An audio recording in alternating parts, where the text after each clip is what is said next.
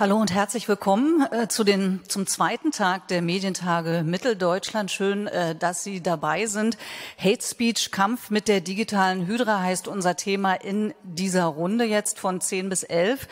Wie lassen sich Hate Speech und andere unerwünschte demokratiefeindliche Inhalte bekämpfen? Darüber wollen wir in dieser Runde reden. Das Thema beschäftigt die Demokratien äh, dieser Welt ja schon seit längerem. Es gibt inzwischen Gesetze, mit denen versucht wird, Hate Speech zu bekämpfen. In Deutschland steht dafür das Netzwerkdurchsetzungsgesetz. Es gibt zivilgesellschaftliche Initiativen. Äh, viel wurde analysiert und viel wurde geschrieben.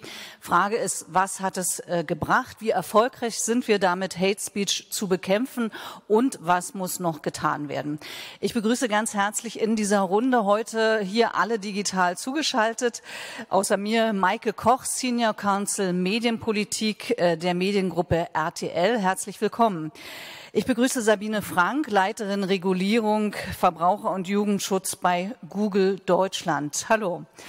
Ein herzliches Willkommen an Professor Hubertus Gersdorf. Er ist Verwaltungs- und Medienrechtler an der Universität Leipzig und hallo auch an Dr. Christoph Hebecker von der Staatsanwaltschaft Köln. Herzlich willkommen in dieser Runde. Drei Aspekte würde ich gerne diskutieren. Ähm, zunächst mal das Netzwerkdurchsetzungsgesetz. Wie funktioniert es?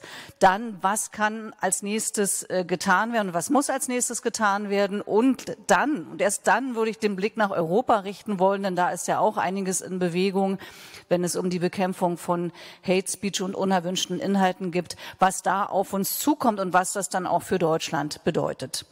Legen wir los mit dem Netzwerkdurchsetzungsgesetz. Gerade gestern hat die Landesanstalt für Medien NRW eine Studie veröffentlicht. Mehr als drei Viertel der Deutschen erleben demnach Hass im Netz. Die Angst vor Hasskommentaren wächst, aber auch die Wut über die VerfasserInnen solcher Kommentare und es werden mehr Verstöße zur Anzeige gebracht. Das heißt, die Leute wollen sich das auch nicht mehr gefallen lassen.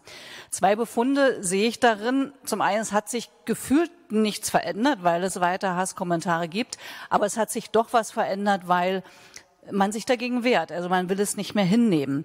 Nur haben wir das NetzDG seit 2017 mit der Begründung des damaligen äh, Justizministers Heiko Maas, dass Löschungen von Hasskommentaren durch die Netzwerke nur unzureichend erfolgen. Frage darum zuerst an Sabine Frank. Wie hat sich denn seitdem die Löschpraxis bei Google verändert, seit es dieses Gesetz gibt? Guten Morgen erstmal und ähm, vielen Dank für die Einladung.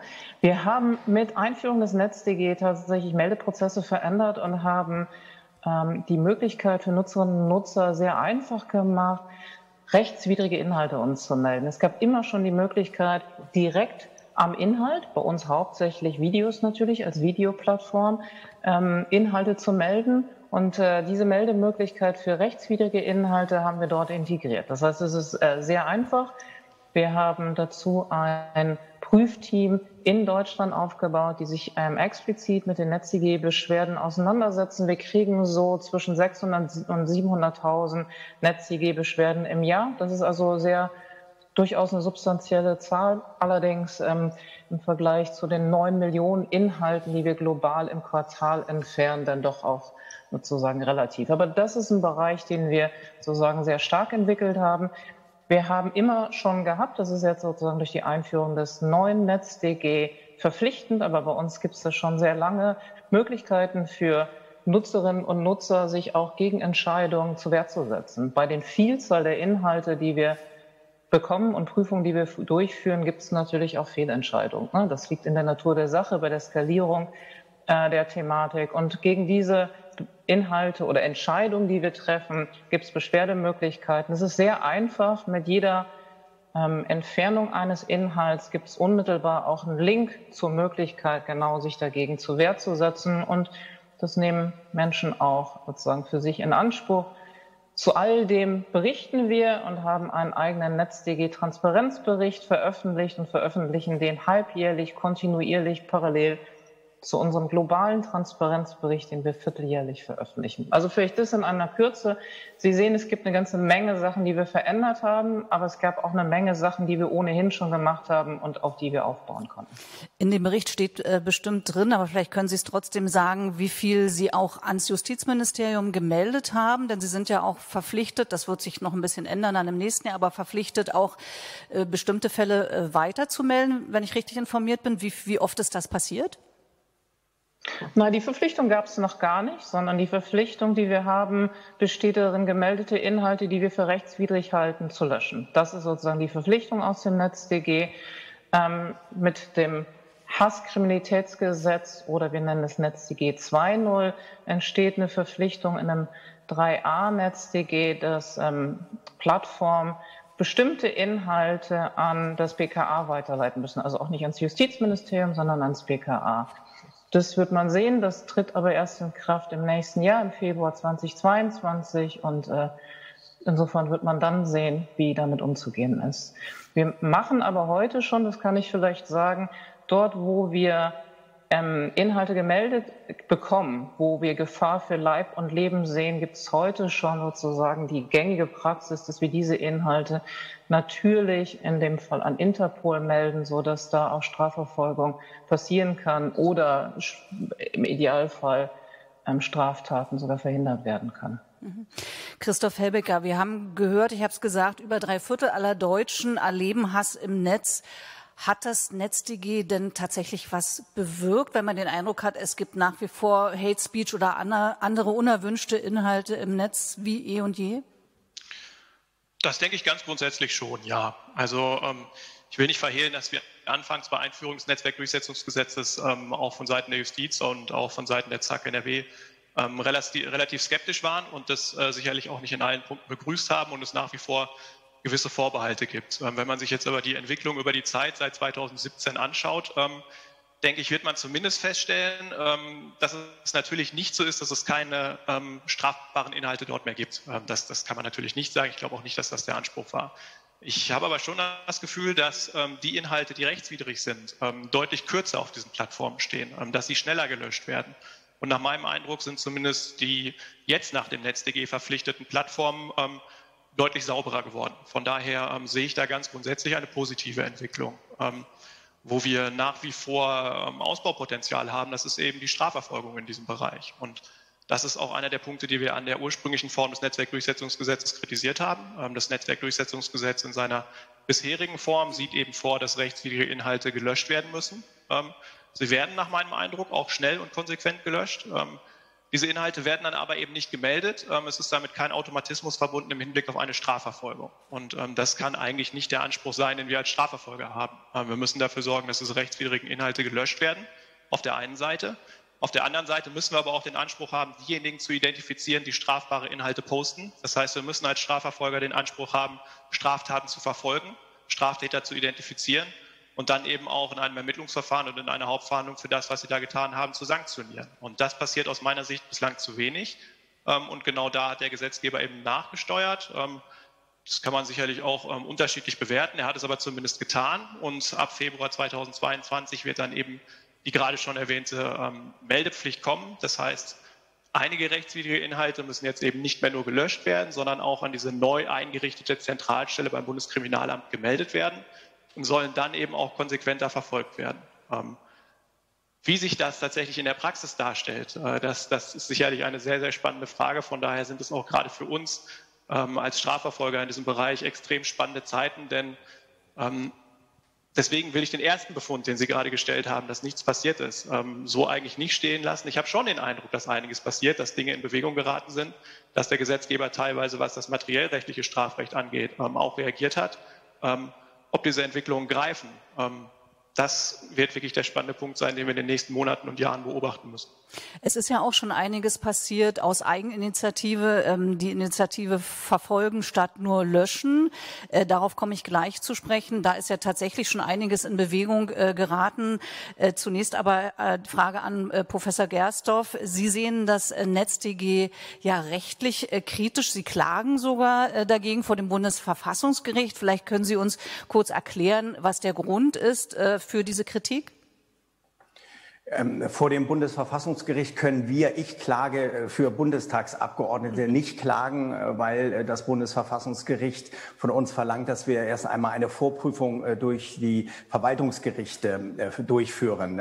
Deswegen können wir uns nicht direkt an Karlsruhe wenden, ähm, sondern wir liegen im Moment mit der Klage beim Oberverwaltungsgericht ähm, in Münster und das dauert und dauert und dauert und dauert. Ich hoffe, dass so lange eine Löschung nicht dauert. Im Kern geht es ähm, um äh, zwei Fragen. Sie haben den ersten Punkt gleich in Ihrer ersten Bemerkung ähm, fokussiert. Ähm, die Landesmedienanstalt in Nordrhein-Westfalen hat äh, gestern einen Bericht vorgelegt. In der Tat, es bringt die Sache auf den Punkt.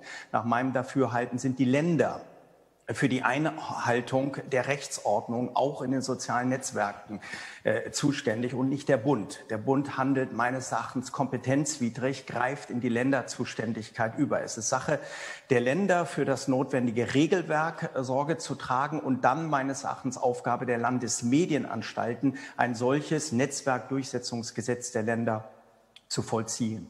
Äh, das ist der formale Gesichtspunkt, der kompetenzielle Gesichtspunkt. Und in äh, inhaltlicher Hinsicht äh, halten wir es nicht für sichergestellt, dass ähm, vor einer Löschung von für die Meinungsbildung wichtiger Inhalte eine sorgfältige Prüfung erfolgt. Vor allem dann nicht, wenn Algorithmen zum Einsatz kommen.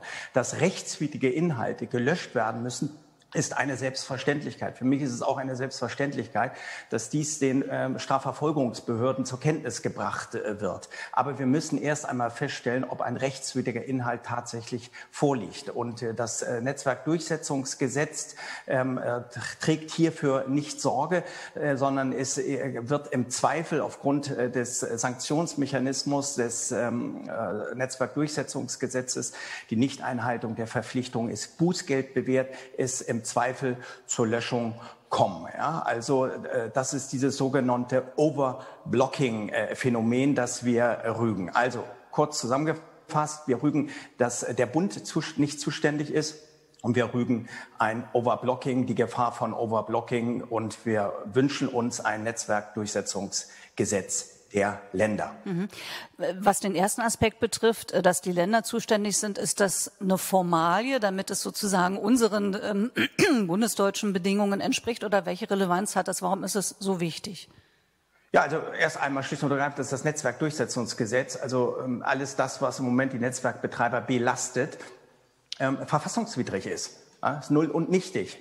Ähm, das über meine felsenfeste Überzeugung. Wir tun uns nur prozessual so schwer, weil ich Bundestagsabgeordnete ähm, ähm, äh, vertrete, vertrete, die keinen Löschungsfall vorzuweisen haben. Ja, wenn die einen konkreten Löschungsfall vorzuweisen hätten, also ihre Inhalte bei Google oder dergleichen YouTube schon mal gelöscht worden äh, wären, dann wären wir sofort wahrscheinlich schnell beim Bundesverfassungsgericht. Wir sind so in dem vorgelagerten Status, sind seriöse Politiker, die klagen ohne einen Löschungsfall vor nachweisen zu können. Also ganz konkret, wenn das Gesetz verfassungswidrig ist, darf hier nichts gemacht werden. So einfach ist es.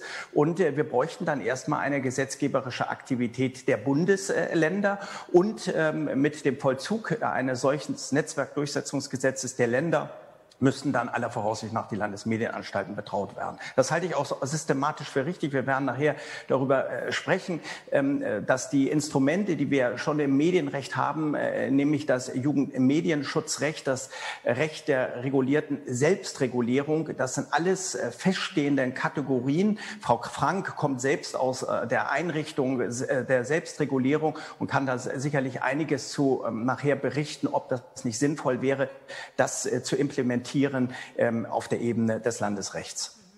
Auf jeden Fall ist es so, dass die Länder ja schon aktiv äh, geworden sind, zumindest ähm, ähm ein Land, nämlich äh, NRW. Ähm, seit 2017, äh, also seit dem Jahr, wo das äh, Gesetz äh, in Kraft getreten ist, gibt es die Initiative Verfolgen statt nur löschen. Das ist am Anfang mit drei Partnern äh, gestartet, ähm, WDR, RTL und Rheinische Post, wenn ich richtig informiert bin. Inzwischen sind es über 20 Medienhäuser, die auch mitmachen und auch, glaube ich, andere Landesmedienanstalten. Maike Koch, wie sind Sie selbst von Hasskommentaren betroffen bei RTL? Denn Sie waren ja sozusagen, oder Ihr Unternehmen war ja äh, als ganz als erstes bei dieser Initiative mit dabei. Ja, guten Morgen auch von meiner Seite. Ähm, vielen Dank für die Diskussion zu einem ganz, ganz wichtigen und vielschichtigen Thema. Wir als Mediengruppe sind äh, in dem Zusammenhang auf zwei Ebenen betroffen, nämlich einmal ähm, sind unsere eigenen Mitarbeiter bei uns im Haus, die Journalistinnen und Journalisten, die ihr, ähm, Gesicht äh, auch jeden Tag vor die Kamera halten, persönlich betroffen, ähm, weil die im Zweifelsfall in den sozialen ähm, Netzwerken massiv angegriffen und an den Pranger gestellt werden, beleidigt und bedroht werden. Ähm, und auf der anderen Seite betreiben wir bei Facebook ähm, relativ viele Fanpages, haben auch Instagram-Accounts, ähm, die entsprechend äh, zu unseren eigenen Formaten dann in den Austausch mit ähm, den äh, Nutzern und Zuschauern treten. Und dort haben wir leider auch ähm, schon viele Jahre die Erfahrung gemacht, dass ähm, es zunehmend mehr von diesen strafrechtlich relevanten Hasskommentaren dort auf den, auf den Seiten dann aufzufinden gab. Und ähm, um vielleicht einfach die Historie zu ähm, äh, erläutern, wir sind dann schon 2017, hatten Sie gerade gesagt, in den Austausch gegangen äh, mit ähm, der Landesanstalt für Medien hier in Nordrhein-Westfalen und auch mit der Rheinischen Post ähm, zunächst und ähm, haben dann eben äh, nach Möglichkeiten gesucht, wie wir das zentralisiert zum einen zur Anzeige bringen können. Herr Dr. Heppecker hatte ja gerade schon ähm, darauf hingewiesen, dass die Strafverfolgung notwendig ist, um dort eben auch ähm, eine Sanktion ähm, spürbar zu machen. Also ein Ladendieb hat ja als Worst Case auch nicht nur zu befürchten, dass ihm im, im schlimmsten Fall ähm, die Ware wieder abgenommen wird, sondern er wird dann der Strafverfolgung entsprechend zugeführt. Und genauso kann es nicht sein, dass im Internet ein rechtsfreier Raum entsteht, in dem äh, im äh, Worst Case mein Kommentar gelöscht wird, sondern auch da strafrechtlich relevante Inhalte werden dann entsprechend ähm, durch die Strafverfolgungsbehörden ähm, verfolgt und äh, es kann dann eben auch zu Gerichtsverfahren kommen. Und ähm, wir als Medienhäuser sind ähm, dann in einer Doppelrolle, ähm, weil wir nämlich auf der einen Seite die Inhalte, die bei uns ähm, auf den verschiedenen Seiten äh, strafrechtlich relevant auftauchen, zur Anzeige bringen.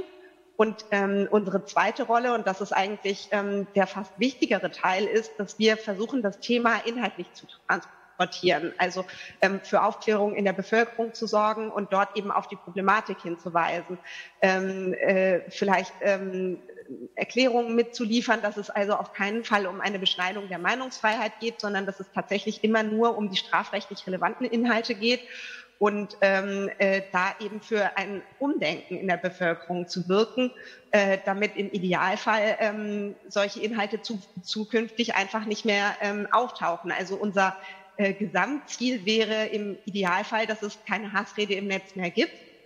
Äh, das ist natürlich ähm, ein, ein, ein großes Ziel und da werden wir im Zweifelsfall auch so nicht ankommen. Aber ähm, uns geht es nicht darum, jetzt äh, möglichst viele Leute ähm, zu verurteilen oder möglichst viele ähm, äh, Menschen vor Gericht zu ziehen, sondern ähm, tatsächlich ähm, dann eben äh, das inhaltlich aufzugreifen. Wir haben dann äh, bei uns in den Nachrichten, äh, bei RTL aktuell oder im Nachtjournal darüber berichtet, wenn Verurteilungen ähm, entsprechend stattgefunden haben oder auch Durchsuchungen. Wir hatten ja bundesweite Razzien, an denen wir uns äh, mit Inhalten auch beteiligt hatten. Ähm, bei ähm, Punkt 12 kam äh, ein Beitrag. Also in ganz verschiedenen entsprechenden Formaten greifen wir das Thema auf, sensibilisieren die Bevölkerung und möchten da eben aufklären. Das heißt, es geht Ihnen genau auch, auch um Aufklärung. Das ist auch ein ganz wichtiges Element. Äh, Christoph Herbecker, Sie sind als Staatsanwalt äh, mit beteiligt bei Verfolgen statt nur Löschen und ähm, fast 900 Anzeigen und über 550 eingeleitete Ermittlungsverfahren hat es gegeben. So lautet das Fazit im Februar dieses Jahres der Landesanstalt für Medien Nordrhein-Westfalen. Kann man sagen, würden Sie sagen, die Initiative ist ein voller Erfolg? Man sollte immer vorsichtig sein, wenn man seine eigenen Projekte bewertet. Aber ähm, ich denke schon, ähm, dass es sicherlich einige positive Seiten zum Vorschein gebracht hat. Und ähm, alleine aus dem Umstand, dass sehr, sehr viele Bundesländer mittlerweile diese Initiative auch bundesweit übernommen haben, glaube ich, kann man ableiten, ähm, dass das, was wir da in Nordrhein-Westfalen entwickelt hat, haben, ähm, äh, tatsächlich auf viel Gegenliebe gestoßen ist. Ähm, denn genau das, was Frau Koch gerade beschrieben hat, ist nämlich ein ganz, ganz wichtiger Punkt. es wird eben viel darüber berichtet, dass es diesen Hass gibt. Es wird viel über, über strafrechtlich relevante und, und rechtswidrige Inhalte auf Plattformen geredet. Ähm, was wir eben auch, glaube ich, deutlich machen müssen, ist, dass tatsächlich auch Strafverfolgung stattfindet. Ähm, wir erleben das in unseren Ermittlungsverfahren immer wieder, dass Beschuldigte, bei denen wir Durchsuchungsmaßnahmen durchführen oder die wir zur Beschuldigtenvernehmung laden, extrem überrascht sind. Ähm, wir hören immer wieder, damit hätte ich nicht gerechnet, ähm, wir hören auch Sätze wie, das machen doch alle, ähm, das ist da normal, so redet man in meiner Bubble eben. Ähm, und daran müssen wir arbeiten. Ähm, wir müssen äh, den Leuten stärker ins Bewusstsein bringen, dass solche Postings eben auch Konsequenzen haben können. Und diese Konsequenzen können mitunter extrem deutlich sein. Ich war in den letzten Wochen zuletzt in einer Hauptverhandlung äh, bei dem wir einen Beschuldigten angeklagt hatten, der unter laufender einschlägiger Bewährung stand, der jetzt zu einer Freiheitsstrafe ohne Bewährung verurteilt worden ist. Ähm, das Urteil ist noch nicht rechtskräftig, aber es ist eben durchaus möglich, ein durchaus realistisches Szenario, dass diese Person für ein Hassposting ins Gefängnis geht, und zwar mehrere Monate. Ähm, wir haben mehrere Urteile ähm, zu mehrmonatigen Haftstrafen erwirken können. Wir haben mittlerweile eine Vielzahl von Geldstrafen ähm, bewirken können. Wir haben gesehen, dass Leute nach den Verurteilungen ihre Jobs verloren haben, weil über das berichtet wurde, was sie da getan haben. Das kann ganz erhebliche Konsequenzen haben. Und uns ist völlig klar, und das war auch nicht der Anspruch unserer Initiative, ähm, dass mit dem, was wir da tun, dass wir wirklich jedes einzelne Hassposting identifizieren und jedes einzelne Hassposting zur, zur Aburteilung bringen. Ähm, das ist schlicht nicht möglich. Das muss man, glaube ich, auch als Strafverfolger anerkennen. Ähm, aber wir müssen deutlicher machen, dass wir als Strafverfolger im Netz unterwegs sind. Wir müssen deutlicher machen, dass wir willens und in der Lage sind, die geltenden Regeln, denn sie gelten da, das Netz ist kein rechtsfreier Raum, diese Regeln auch wirklich durchsetzen wollen. Und da müssen wir uns, glaube ich, in der Vergangenheit tatsächlich den Vorwurf gefallen lassen, dass wir da ähm, nicht immer den Eindruck erweckt haben, dass wir mit aller Macht bereit sind, diesen Eindruck auch zu vermitteln. Ähm, da mangelt es in Teilen vielleicht noch ein wenig an der erforderlichen Sensibilität für die Thematik. Ähm, es ist nicht überall klar geworden, ähm, wie wichtig es ist, hier ähm, aktiv zu werden. Ähm, denn genau das, was wir gerade auch schon gehört haben, so sehen wir unsere Arbeit. Wenn wir es schaffen, hier schon einzugreifen, hier destruktive Diskussionen zu unterbinden ähm, hier Hetze und Gewalt möglicherweise schon in einem ganz frühen Stadium ähm, abbinden zu können, ähm, sind wir möglicherweise eben dadurch auch in der Lage zu verhindern, dass das, was sich da im Netz zusammenbraut, schließlich auch zu Gewalttaten und Straftaten in der analogen Welt führt. Mhm. Und von daher macht es aus unserer Sicht durchaus Sinn, solche Initiativen, wie wir in NRW gestartet haben, zu initiieren. Und wir sind froh, dass andere Bundesländer das mittlerweile übernommen haben und in Teilen auch weiterentwickelt haben. Wie viele Täter finden Sie denn Finden Sie alle oder einen Großteil derjenigen, die da, sagen wir mal, angezeigt werden? Nein, wir finden nicht alle. Das kann man ganz klar und offen sagen. Ähm, es gibt zwei neuralgische Punkte für uns. Der erste Punkt ist immer, die Anzeige wird bei uns als Justiz ein. Ähm, wir als Justiz prüfen, ist das strafrechtlich relevant oder ist das möglicherweise Meinung, die moralisch verwerflich, ähm, drastisch, emotional ist und uns persönlich nicht gefällt, aber eben strafrechtlich nicht zu fassen ist. Und bei einem Teil müssen wir eben sagen, das mag nicht schön sein, das erfüllt aber keinen Straftatbestand. Das ist der erste Punkt. Und nur wenn wir einen Anfangsverdacht sehen, leiten wir auch ein Ermittlungsverfahren ein. Und der zweite Punkt ist eben, dass wir mitnichten in jedem Fall in der Lage sind, denjenigen zu identifizieren, der hinter diesem Posting steht. Ähm, wir schaffen es in einer Vielzahl von Fällen, ähm, wir schaffen es in aber in vielen Fällen tatsächlich auch nicht. So offen und ehrlich muss man einfach sagen, äh, sein. Ähm, da fehlen uns teilweise die Ermittlungsmöglichkeiten. Da sind wir in einigen Fällen relativ schnell mit unserem Latein auch am Ende, ähm, weil wir nicht mehr weiter ermitteln können, weil wir keine erfolgversprechenden Ermittlungsansätze haben. Ähm, von daher gibt es da an der einen oder anderen Stelle für uns sicherlich auch noch Möglichkeiten, uns mehr Instrumentarien zur Verfügung zu stellen, um effektiver gegen Verfasser von Hasspostings vorgehen zu können. Das heißt, sie kommen nicht ran, weil die Netzwerke die Daten nicht rausgeben? Oder warum ist es so schwierig, die Leute zu ermitteln?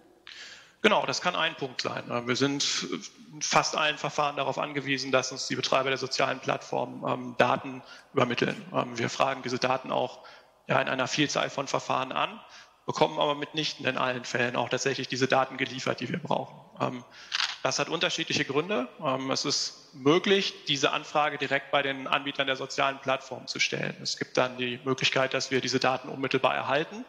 Das passiert teilweise auch. Es gibt die Möglichkeit, dass die Betreiber der sozialen Plattform sagen, ähm, wir haben nichts oder sie geben uns nichts, das ist die andere Möglichkeit. Und es gibt die Möglichkeit, dass uns die Betreiber der sozialen Plattform auf die Erforderlichkeit oder die Notwendigkeit eines justiziellen Rechtshilfeersuchens verweisen. Ähm, das äh, ist in rechtlicher Hinsicht auch nicht zu beanstanden.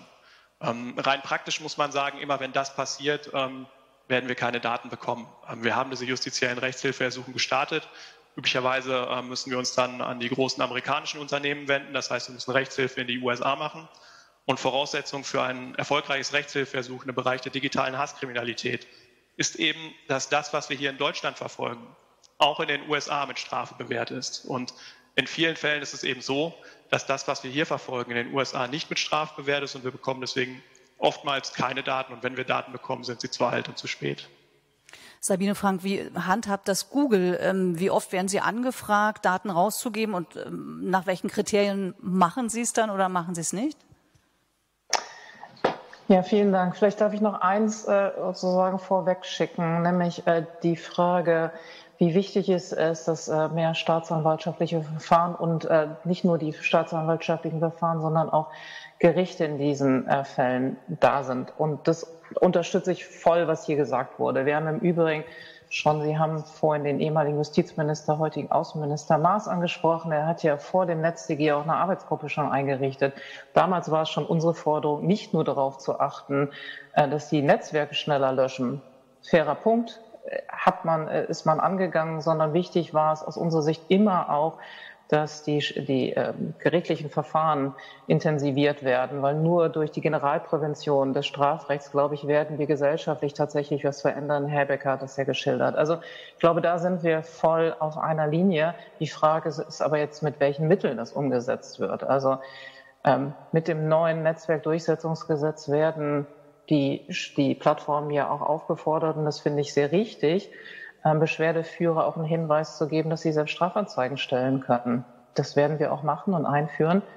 Das Problem stellt sich nur jetzt, dass es gar keine einheitliche äh, Anzeigeaufnahmestelle gibt, sondern die Frage für uns stellt sich, auf was sollen wir denn verweisen?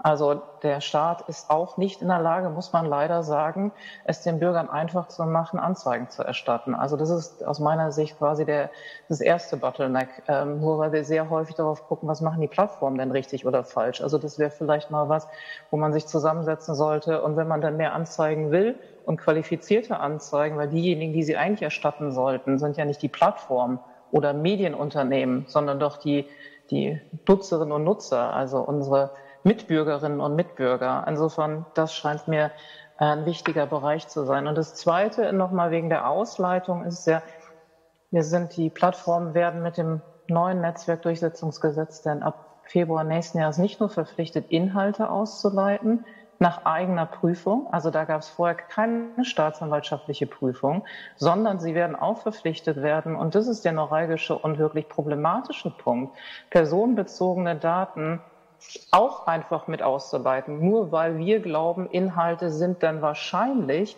strafrechtsrelevant. Und da scheint mir die, der Privatsphäre-Schutz doch wirklich hochproblematisch zu sein. Und das ist ja auch äh, sozusagen sehr kontrovers diskutiert worden. Herr Herbecker, Sie werden sich erinnern, wir haben mit Ihnen und Ihren Kollegen ja auch versucht, alternative Lösungsszenarien dort aufzuzeigen, die weniger äh, datenschutzintensiv, aber die gleichen Effekte haben könnten. Es ist leider nicht aufgegriffen worden durch den Bundesgesetzgeber. Das scheint mir wirklich ganz problematisch, insbesondere wenn man ausschließlich Plattformen reguliert, deren Dienst jetzt gar nicht in Deutschland ist, sondern es geht immer um internationalen Datentransfer. Dafür soll es aber eigentlich eine europäische Regulierung geben, nicht das DSA, über das wir auch noch reden werden, sondern die E-Evidence-Richtlinie, die genau das reguliert, die aber vorsieht, dass bei solchen Datentransfers vorher einen richterlichen Vorbehalt gibt. Das alles haben wir leider in Deutschland ignoriert. Und ich glaube, wir haben uns eine große Chance behoben, ähm, das sozusagen sorgfältig äh, sozusagen auf, aufzugleisen. Weil beim Netzwerkdurchsetzungsgesetz sehen wir schon, dass sehr viele, viel weniger demokratische Länder äh, sozusagen Copycat-Versionen machen umso mehr werden sie sich animiert fühlen, genau das zu machen und personenbezogene Daten von vermeintlich missliegenden Personen dann in zentrale ähm, Akten von den jeweiligen Polizeibehörden dort äh, äh, sozusagen zu bewahren. Also hochproblematisch aus staatsrechtlicher Sicht, aus meiner, aus meiner Perspektive. Aber nun zu Ihrer Frage, was machen wir eigentlich mit den Auskunftsersuchen? Also vielleicht äh, zwei Zahlen. Im Jahr 2010 haben wir rund 600, ich glaube 677 Auskunftsersuchen aus Deutschland erhalten. Ähm, Im Jahr 2020 über 13.000. Davon haben wir 75 Prozent positiv beantwortet. Das heißt, dort haben wir Daten ausgeleitet. Also nur um Herrn Herbecker zu widersprechen. Es ist nicht so, dass wir in der Großteil der Fälle nicht ausleiten, sondern ganz im Gegenteil. Wir leiten in der Großteil der Fälle aus. Und wenn wir nicht ausleiten, hat es fast immer damit zu tun, dass die falschen Ermächtigungsgrundlagen genannt wurden. Das heißt, auch da, glaube ich, muss man auch nochmal sehen, dass man vielleicht gemeinsam nochmal ähm, über gemeinsam das nochmal angeht und sagt, was brauchen die Plattformen denn eigentlich an Informationen, um auch sinnvoll ausleiten zu können. Also ähm, wir sind da wirklich guten Willens und äh, wir verstehen auch, dass Daten ähm, gebraucht werden. Aber aus unserer Sicht ist es wirklich wichtig, die richtigen öffentlichen und rechtsstaatlichen Schritte einzuhalten. Und zunächst sollte es eine öffentliche, also eine Prüfung durch eine Staatsanwaltschaft geben, ob es tatsächlich ein strafrechtsrelevanter Inhalt ist. Und dann sollte die Datenabfrage erfolgen und dann erfolgt die Datenherausgabe. So ja auch das äh, berühmte Doppeltürmodell, das höchstrichterliche in Deutschland sozusagen als Praxis aufgeschrieben ist. Insofern bin ich gespannt, ob wir zu einer ähnlichen Praxis vielleicht doch zurückkommen, spätestens wenn die E-Evidence-Richtlinie dann äh, europäisch beschlossen wurde. Das ist der Wunsch für die Zukunft. Ich glaube, Herr Herbecker hatte auch äh, andere ähm, soziale Netzwerke mehr im Blick, ähm, wenn es darum ging, wer vielleicht nicht ganz so kooperativ ist. Aber die rechtlichen Bedenken, die Sie jetzt genannt haben, Frau Frank, bringt mich nochmal zu Professor Gersdorf. Sie hatten ja schon das eingangs geäußert, äh, welche äh, großen Bedenken Sie haben gegenüber äh, dem Gesetz. Ähm, Gibt es denn schon Beweise oder Indizien dafür, dass da dann auch tatsächlich was äh, fehlgelaufen ist? Weil ich glaube zum Beispiel dieses sogenannte Overblocking, also dass eben ähm, äh, Meinungsfreiheit eingeschränkt wird, weil man vorauseilend Dinge blockt, die vielleicht äh, gar nicht rechtswidrig sind, lässt sich auch unheimlich schwer evaluieren, oder? Ja, völlig richtig lässt sich das schlecht evaluieren. Äh, ob es tatsächlich zu Overblocking äh, kommt, kann man nur äh, dann feststellen, wenn es eine Prüfung gegeben hat durch eine unabhängige Stelle. Also die unabhängige Stelle muss prüfen, ob die sozialen Netzwerkanbieter zu Unrecht Inhalte gelöscht haben. Ja, aber wenn die Betroffenen von der Löschung Betroffenen gegen die Löschung nicht den Rechtsweg beschreiten und es gar nicht zu einer Prüfung durch die Gerichte kommt, kann letztendlich auch nicht im Einzelnen evaluiert werden, ob es zum Overblacking gekommen ist. Ja, das ist ein strukturelles äh, Problem. Äh, aber man kann nicht so sagen, wie im Evaluierungsbericht ähm, der Bundesregierung, ähm, die Gefahr äh, von Overblocking habe sich äh, nicht ähm, realisiert.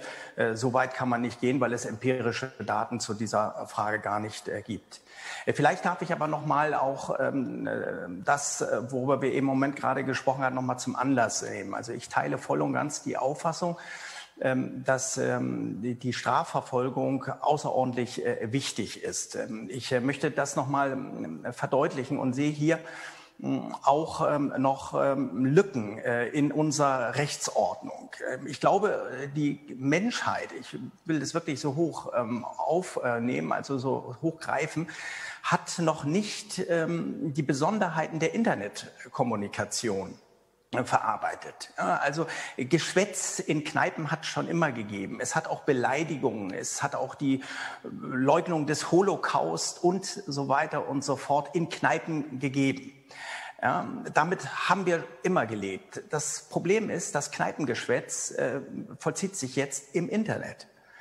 Und das ist die Besonderheit. Das, be das bedeutet, die Rechtsgüter, die zu schützen sind, äh, und das sind nicht nur Strafgesetze, sondern sind vor allem auch Persönlichkeitsrechte, werden durch das Internet, durch eine Kommunikation im Internet ungleich, ungleich stärker beeinträchtigt als in einer Kneipe, um dieses Beispiel nochmal aufzugreifen. Und ich glaube nicht, dass die Rechtsordnung in der Bundesrepublik Deutschland, aber auch in der ganzen Welt genau diesen Paradigmenwechsel richtig verarbeitet hat. Also ich denke, wir sollten die Diskussion führen, ob wir nicht spezielle Internetstraftatbestände schaffen. Ja, ich, Einzelheiten wird Herr Heppecker dann im Einzelnen sagen können, wie man das ähm, ausgestalten könnte. Aber ich würde, wünschte mir oder eine Diskussion darüber, ob wir nicht im Rahmen des Strafrechts, aber nicht nur im Rahmen des Strafrechts, stark differenzieren zwischen der ähm, Rechtsgutverletzung außerhalb des Internets und im Internet, weil im, im, Internet eben viel mehr Menschen davon Kenntnis nehmen können und universell die Inhalte ähm, äh, rezipiert werden können. Das bedeutet, der, Recht, der Schaden für die Rechtsgüter ist ungleich größer als in der analogen Welt.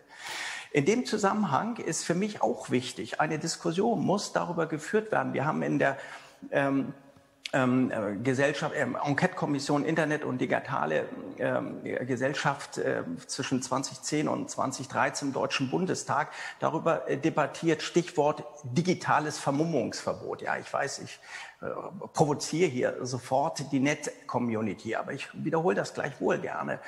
Ähm, warum das für mich äh, wichtig ist, dass es prinzipiell eine äh, anonyme äh, Kommunikation mit Internet nicht geben ähm, sollte. Warum? Ähm, für die Medien ähm, ist es selbstverständlich, äh, dass sie eine ladungsfähige Anschrift in das Internet stellen müssen, wenn sie dich an der öffentlichen Kommunikation beteiligen.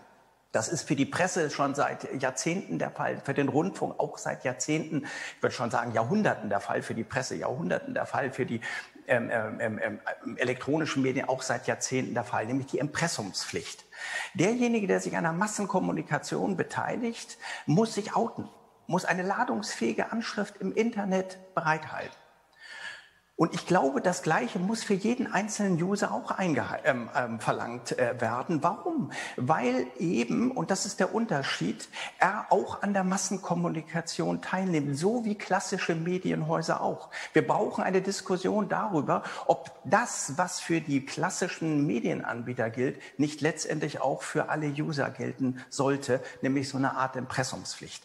Das ist jetzt im Zusammenhang mit den sozialen Netzwerken nicht das entscheidende Problem, weil in der Realität ohnehin dort eine ladungsfähige Anschrift verlangt wird. Ob sie denn tatsächlich vorliegt, ist noch eine andere Frage. Aber wenigstens von den Net-Communities her ähm, äh, äh, verlangt ähm, wird. Aber generell sollten wir die Diskussion führen, ob nicht die Prinzipien, die für die Medien in den letzten Jahrhunderten äh, und ähm, jetzt auch Jahrzehnten gelten, also für klassisches Printwesen wie auch für äh, den Rundfunk, nicht genauso für den einzelnen User gelten sollte. Also eine Impressumspflicht. Also darüber sollten wir diskutieren. Ich habe hier auch noch keine fertigen Antworten. Ich möchte nur, äh, dass wir ähm, endlich mal rangehen und äh, deutlich äh, machen, dass die Kommunikation im Internet etwas völlig anderes ist als die Kommunikation in einer Kneipe und außerhalb des Internet.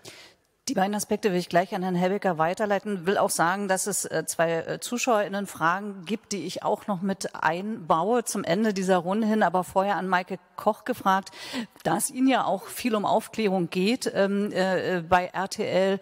Was würden Sie sagen, wie ist das Bewusstsein darüber ausgeprägt bei den NutzerInnen, ähm, dass sie im Netz anders kommunizieren, als wenn sie es nur am Stammtisch sagen? Oder haben die Leute tendenziell das Gefühl, sie sitzen immer noch im Wohnzimmer, auch wenn sie äh, vielleicht in die Welt hinaus posten?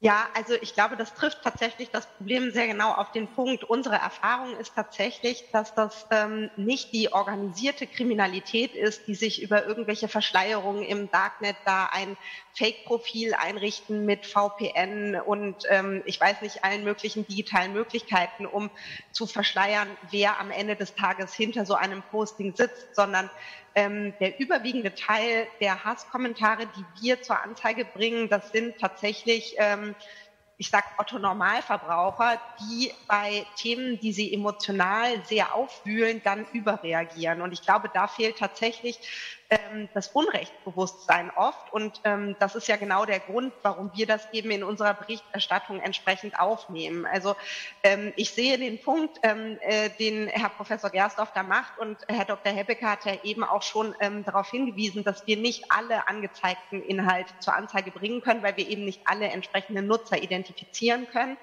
Aber in der Demokratie, in der wir hier alle ja auch sehr gerne leben, ähm, ist die Meinungsfreiheit grundrechtlich ein sehr hoch geachtetes Gut. Und da kommen wir immer wieder in den Zwiespalt zwischen, ähm, wollen wir tatsächlich dann eben an der Stelle die ähm, unabdingbare Verfolgung ähm, gewährleisten oder muss unsere Demokratie das an der Stelle eben einfach aushalten? Also ähm, wir haben tatsächlich äh, in weniger Fällen die bewusste Unkenntlichmachung des Nutzers, ähm, sondern überwiegend sind das ähm, normale Nutzer.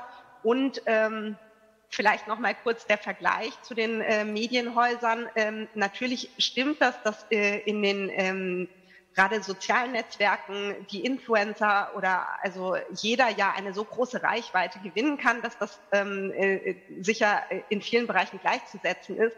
Nichtsdestotrotz muss man natürlich unterscheiden, dass in den Medienhäusern äh, professionelle Mitarbeiter sitzen, die äh, im Zweifelsfall Inhalte abgenommen bekommen, wo eine Redaktion dahinter steht. Insofern ähm, sind da schon nochmal Unterschiede zu machen und ähm, wir sind da auch in der Findung, wie man das befriedigend lösen kann.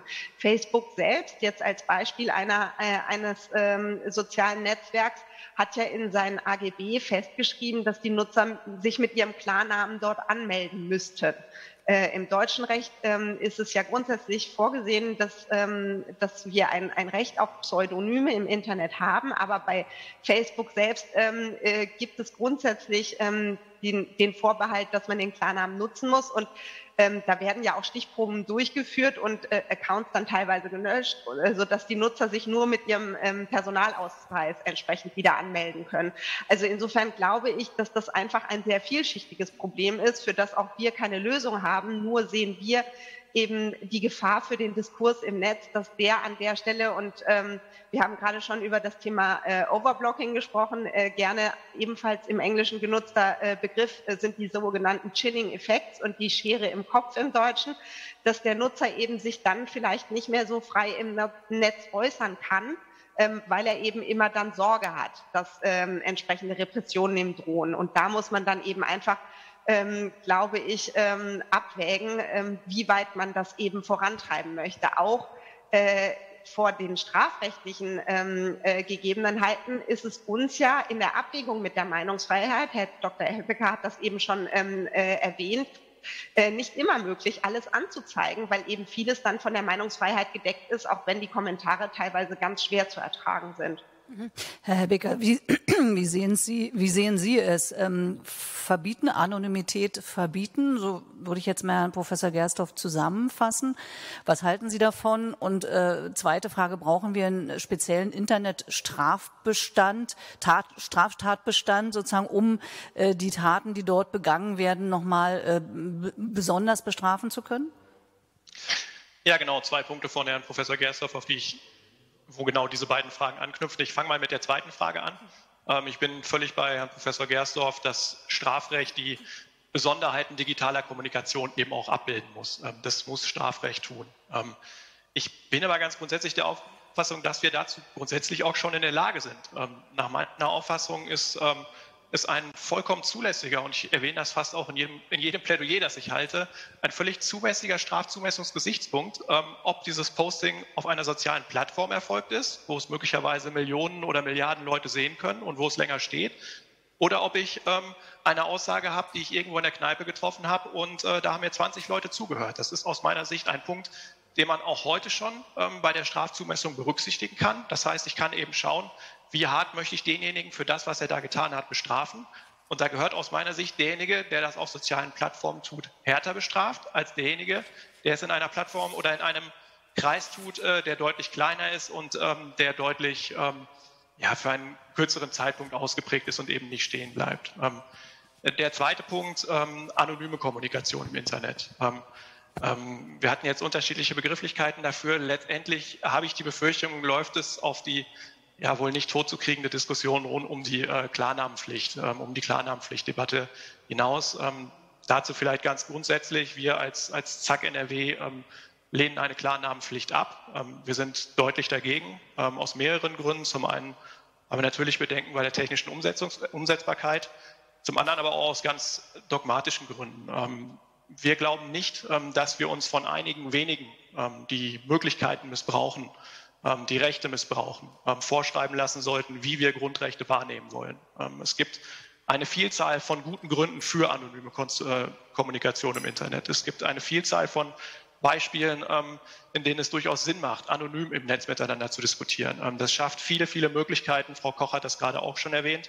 Und diese Möglichkeiten sollten Bürgern, die das in rechtlich nicht zu beanstandender Art und Weise tun wollen, natürlich auch zur Verfügung stehen. Und die sollten wir in diesen Möglichkeiten nicht beschneiden, weil es einige wenige gibt, die sich nicht benehmen können, die sich nicht an Regeln halten und die Straftaten begehen. Wir müssen die verfolgen, die Straftaten begehen, aber gleichzeitig bei allen anderen Personengruppen eine möglichst weitgehende Wahrnehmbarkeit von Grundrechten sicherstellen. Ähm, das ist nicht immer ganz einfach.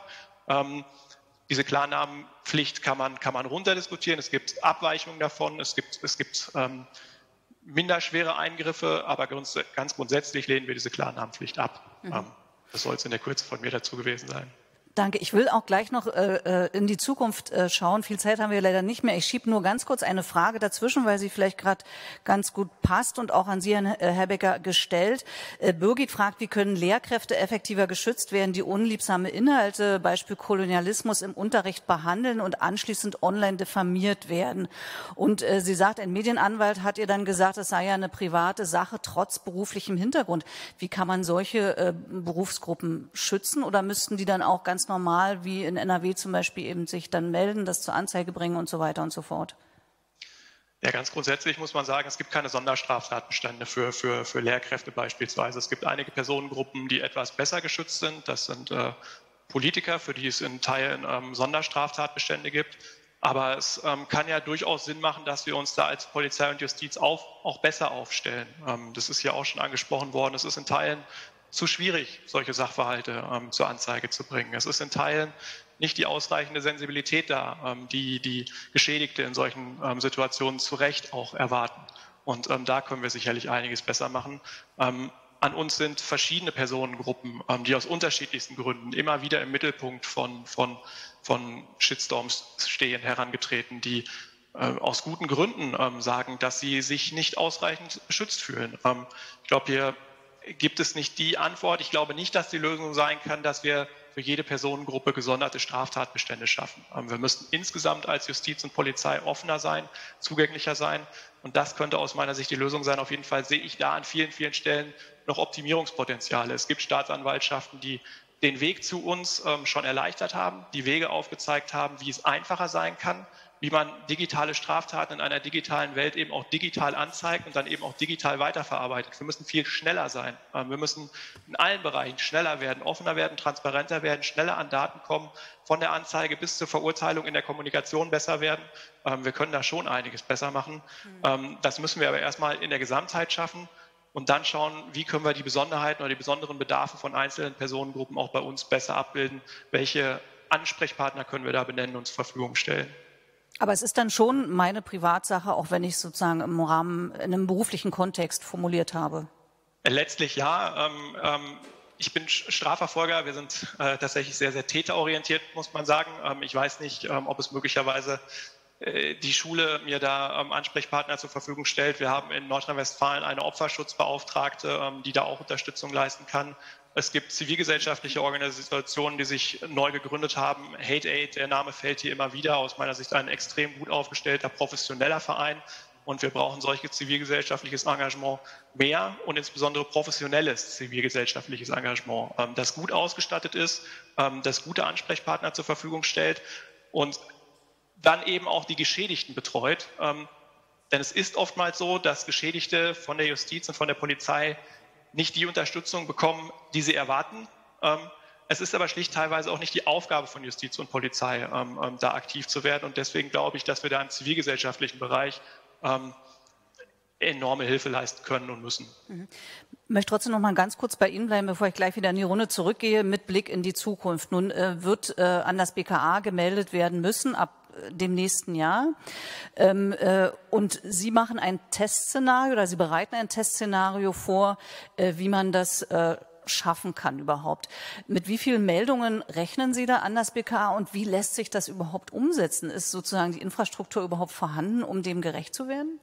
Ja, guter Punkt. Ähm, äh, die Infrastruktur muss da sein. Ähm, wenn man sich den Gesetzentwurf anguckt, der da beschlossen worden ist, geht der Gesetzgeber von 250.000 jährlichen Meldungen aus, ähm, aus denen 150.000 ähm, Ermittlungsverfahren pro Jahr resultieren sollen. Wir sind in unseren Schätzungen und in der Anhörung im Bundestag dazu davon ausgegangen, dass es deutlich mehr Meldungen sein können. Seriös beurteilen kann das zum jetzigen Zeitpunkt, glaube ich, niemand.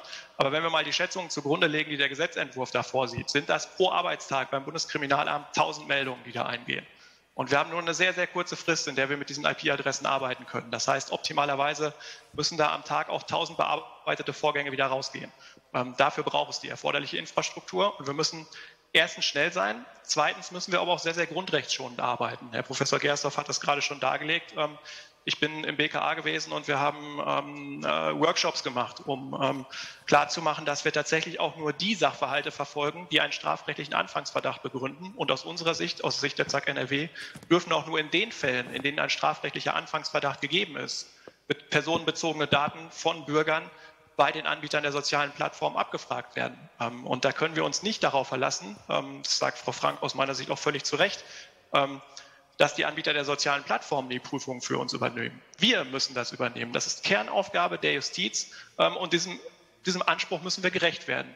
Und wenn der Gesetzgeber sowas vorsieht, ähm, dann muss er eben die Justiz auch in die Lage versetzen, sowas leisten zu können. Ähm, das wird personalintensiv sein. Wir brauchen da Experten für und wir brauchen da viele Experten für und wir brauchen diese Experten schnell, ähm, denn das wird sehr, sehr schnell kommen.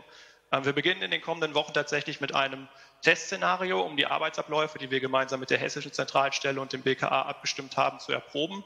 Ähm, das machen wir in einem sehr reduzierten Fallaufkommen ähm, mit Fällen aus dem Projekt Verfolgen statt nur löschen und aus einem hessischen Projekt. Und wir müssen schauen, ob unsere Arbeitsabläufe ähm, erstens tragen und ob sie denn zweitens dann eben auch der gerichtlichen Überprüfung standhalten. Denn ich gehe nicht davon aus, dass die Klage von Herrn Professor Gersdorf die einzige bleiben wird. dieses Gesetz wird sicherlich durch die Gerichte überprüft werden. Und da müssen unsere Arbeitsabläufe, die wir gefunden haben, belastbar sein. Sie müssen zeigen, dass wir einerseits effektiv sind, aber andererseits eben auch in möglichst weitem Umfang die Grundrechte auf das Grundrecht der informationellen Selbstbestimmung und der Meinungsfreiheit berücksichtigen. Und unter diesem Gesichtspunkt ähm, gibt es da sicherlich einige Punkte im NetzDG 2.0, die man auch kritisch hinterfragen kann. Sabine Frank, nun wissen wir äh, alle, dass Hate Speech und andere unerwünschte Inhalte unheimlich viel mit den Mechanismen der Plattform zu tun haben. Also mit dem, mit den Klicks, mit den Likes, mit der Geschwindigkeit, was Emotionales wird besonders gern weitergeleitet und so fort, weiter und so fort. Ähm, Frage, warum nicht einfach auch das Design ändern? Oder äh, anders gefragt, gibt es nicht auch Möglichkeit, durch ähm, andere Programmierung so etwas, sagen wir mal, zumindest auszubremsen? Also wir haben sehr intensiv daran gearbeitet, Inhalte, die aus unserer Sicht sozusagen am Rande der Verletzung unserer eigenen Hausregeln sind, die also minderwertiger Qualität sind, die Sichtbarkeit zu reduzieren. Das sind aber in der Regel ja gerade nicht Inhalte, über die wir heute reden, die strafrechtsrelevanten Charakter haben. Und würde mich auch wirklich dagegen verwehren wollen, dass sozusagen unser Design dafür auf, aufruft, strafrechtsrelevante Inhalte ähm, vermehrt sozusagen zu transportieren, sondern es ist nicht im Interesse von uns als Plattform, diese negativen Inhalte sozusagen weiter zu, zu publizieren.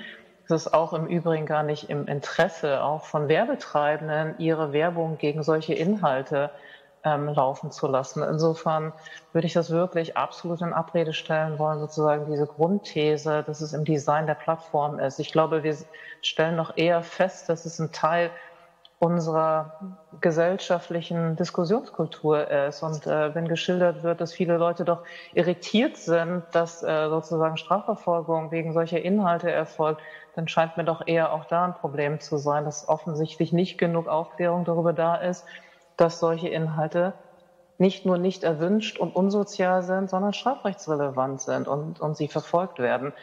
Ich will aber auch nicht sagen, dass wir nichts tun können. Ne? Also wir entfernen Inhalte, wir haben enorm investiert genau in diesem Bereich, wir, wir reduzieren Sichtbarkeiten von ähm, eher gesellschaftsschädigenden Inhalten. Da reden wir eher über sowas wie Misinformation, was sozusagen strukturell eher was anderes ist als strafrechtsrelevante Inhalte das sind, das sind, glaube ich, Sachen, die wir ähm, ma machen, machen müssen und äh, verstärkt auch machen werden. Aber Sie würden dem nicht zustimmen, dass sich Hate Speech schneller verbreitet im Netz als äh, vielleicht andere äh, Inhalte, einfach weil sie äh, so emotional aufgeladen sind? Ich kann nicht für alle Plattformen sprechen, aber das würde ich nicht für YouTube sozusagen unterschreiben wollen.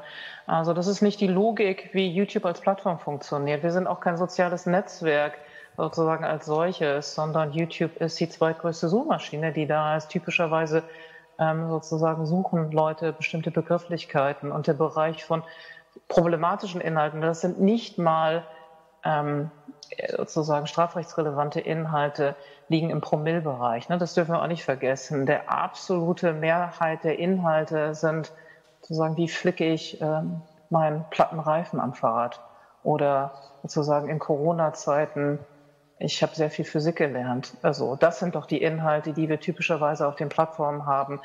Und trotzdem sind die Inhalte, über die wir heute reden, natürlich total wichtig und gesellschaftsrelevant, aber doch nicht die Mehrheit der Inhalte auf den Plattformen. Blick nach Europa. Wir haben leider nur noch fünf Minuten. Wir müssen wir ganz kurz, aber trotzdem noch durch, äh, Professor Gersdorf. Jetzt kommt Europa mit dem Digital Services Act und mit der E-Evidence-Richtlinie. Ähm, können Sie sich nicht zurücklehnen und sagen, na, dann wird das Netzwerkdurchsetzungsgesetz vielleicht eh bald Geschichte sein, weil dann europäisches Recht gilt? Und was wird dann anders? Ja, das wird sich noch im Einzelnen äh, zeigen, was im Einzelnen anders äh, wird, äh, ob ich mich dann zurücklegen kann ähm, würde ich äh, bezweifeln, äh, weil auch das Regelwerk ähm, Europas, äh, so wie es bislang ähm, ausgestaltet ist, natürlich auch die Mitgliedstaaten in die Verantwortung nimmt. Und dann stellt sich für die Bundesrepublik Deutschland die Frage, wer die Verantwortung hat. Die Länder oder der Bund. Und ich bin weiterhin der Auffassung, dass das auf der Ebene der Länder äh, zu organisieren ist. Also die Frage wird durch Europa äh, nicht ähm, beantwortet und auch nicht äh, die Frage des Overblockings. Ähm, da könnte in der Tat ähm, für mehr Einheitlichkeit gesorgt werden. Aber das müssen wir dann im Einzelnen noch abwarten. Sabine Frank, was für Verantwortlichkeiten haben Sie dann als soziale Plattformen? Was wird sich denn für Sie ändern, wenn die äh, DSA, also der Digital Services Act, ähm, mal äh, irgendwann in Kraft treten wird? Ähm, also was wir sehr begrüßen, vieles von dem äh, wird uns hier bekannt vorkommen, weil vieles von dem im NetzDG sozusagen so oder ähnlich definiert wurde. Allerdings gilt das NetzDG für viel weniger ähm, Anbieter, nämlich nur für soziale Netzwerke. Der DSA wird eine viel breitere Anbietergruppe sozusagen haben. Ähm, aus meiner Sicht der große Vorteil ist, dass wir europaweit einheitliche Regelungen haben werden. Und das ist gut für natürlich die Unternehmen. Das ist aber genauso gut auch für die Bürgerinnen und Bürger, weil verlässliche Standards damit entstehen, ähm, wie sozusagen die Plattformen damit umgehen. Und das ist aus meiner Sicht auch eins der der Hoffnung, die ich habe, dass wir eine Fragmentierung, die wir gerade in Europa sehen, wir haben das NetzDG in Deutschland und das Koppel-G in Österreich und die Franzosen überlegen, ein DSA Light vorwegzuziehen. Und es gibt in Polen Überlegungen, da geht es eher darum, bestimmte Inhalte nicht mehr anzeigen zu dürfen und so weiter. Und ich glaube, das macht total Sinn, eine einheitliche Regelung zu haben. Da geht es um, ähnlich wie wir es im äh, NetzDG auch haben, um einfach auffindbare Beschwerdemöglichkeiten. Anders ist es, dass es keine starren Fristen gibt, was ich sehr begrüße und äh, ich vermute Professor Gersthoff auch, dass es einfach mehr Flexibilität da ist. Es hat den großen Vorteil, dass die Plattform die wirklich hochgradig problematischen Inhalte, Kindesmissbrauchsinhalte, terroristische Inhalte sehr viel schneller bearbeiten und nicht alle Inhalte, die strafrechtsrelevant gleichzeitig. Das ist eines der Vorteile. Es gibt Transparenzverpflichtungen, so wie wir es im NetzDG kennen. Schwierig aus meiner Sicht vielleicht noch eins ist, dass es sogenannte Out-of-Court-Mechanismen gibt, die vorgesehen sind. Das heißt, jeder Beschwerdeführer kann nach einer Entscheidung der Plattform zu einer privaten Institution gehen. Dafür gibt es auch gar nicht großartige Kriterien, wann man sich dann als sowas nennen darf. Und da kann, darf das überprüfen lassen. Die Plattformen sind verpflichtet, ähm, genau dem sozusagen nachzukommen. Und ich kann so ein Shopping machen. Wenn mir die einen nicht gefallen, gehe ich zu den nächsten im nächsten Land und so weiter. Und das gilt selbst dann, wenn wir Löschaufforderungen kriegen von öffentlicher Seite, selbst im Bereich von Terrorismus, Kinderpornografie und so weiter, kann dann derjenige sagen, nee, Moment mal, das sehe ich aber gar nicht so und will das dann überprüfen lassen. Und das glaube ich nicht, dass das zu einer sagen Rechtseinheitlichkeit beitragen wird, weil ich glaube, dass wir sozusagen ein Shopping, ein Rechtsshopping sehen werden durch Europa und sozusagen würde ich Vertreterin einer ähm, staatlichen Institutionen wie der Staatsanwaltschaft oder eines Gerichts sein, hätte ich wirklich vielleicht sogar noch mehr Bedenken als als Bürgerin, weil das sollte doch äh, universelle Aufgabe von Gerichten sein, letztlich sowas zu entscheiden und nicht von Streit, Streitschlichtungsstellen. Das in aller Kürze. Vielen Dank, äh, Sabine Frank. Das muss leider das Schlusswort sein in dieser Runde. Und ich stelle fest, Europa ist nochmal ein riesengroßes Sonderthema, was wir dann vielleicht an äh, gesonderter äh, Stelle besprechen müssen. Ich stelle auch fest, es muss einiges rechtlich überprüft werden, ob das Recht so bleiben kann, wie es ist, äh, weil wir nicht wissen, ob es äh, verfassungsgemäß ist oder Zweifel haben. Ich stelle fest, wir brauchen äh, eine besser ausgebaute Infrastruktur, mehr Manpower wahrscheinlich auch, um diesen Täter verfolgen zu können können, äh, um Hate Speech bekämpfen zu können. Das sind also so, das ist so mein Fazit aus dieser einen Stunde. Ich bedanke mich sehr, sehr herzlich für diese sehr spannende Diskussion. Vielen Dank an Maike Koch äh, von der Mediengruppe RTL. Vielen Dank äh, Sabine Frank von Google. Herzlichen Dank auch an Professor Hubertus Gerstorf von der Universität Leipzig und Ihnen auch Dr. Christoph Hebecker von der Staatsanwaltschaft Köln. Ganz herzlichen Dank. Und ich sage damit Tschüss.